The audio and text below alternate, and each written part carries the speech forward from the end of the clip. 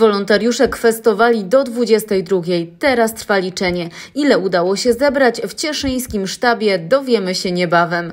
Wolontariusze w tych trudnych czasach spisali się na medal, przyznaje z dumą tegoroczna szefowa sztabu. Ja jestem zadowolona z e, moich wolontariuszy, naprawdę, że chciało im się wyjść, że w tych trudnych czasach, pomimo zachowania dystansu, maseczek, dezynfekcji, tego wszystkiego, udało nam się doprowadzić ten finał prawie że do końca. Starosta miał jakąś taką inną puszkę, taką trochę większą. E, tak, bo e, z fundacji jako sztab dostaliśmy wyjątkowe dwie takie duże pamiątkowe puszki i jedną z nich mogliśmy przeznaczyć na kwestowanie.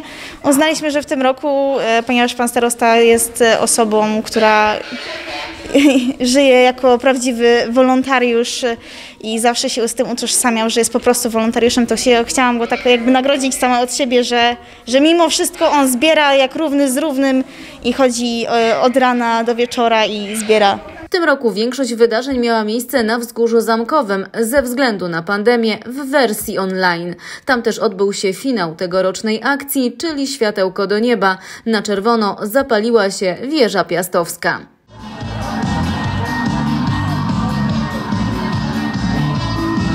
Dla portalu Śląska Cieszyńskiego XPL Marta Szymik-Telesz.